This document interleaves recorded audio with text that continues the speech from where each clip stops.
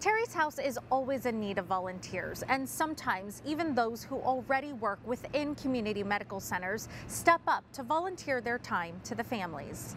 This week's healthcare hero is Community Regional Medical Center's security officer, Abigail Galindo. Abigail is a team lead and oversees about 20 officers during her swing shift. They provide transportation for patients and employees, and they also guard around areas of the hospital, including Terry's house. It's there where Abigail says she and other officers have gotten to know the families well, and they wanted to serve them. We just got really close to the staff here and the guests. A lot of the, the guests here stay, unfortunately, for you know many many weeks.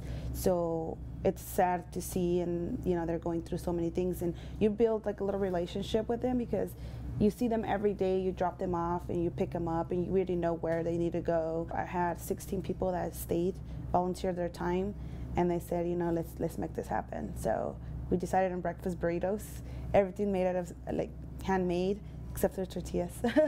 Abby is our, she's our, um, I would call her our event coordinator, and so she frequently organizes potlucks for our department. I would say that she uh, promotes camaraderie amongst the team, and um, we're just really grateful to have her on staff.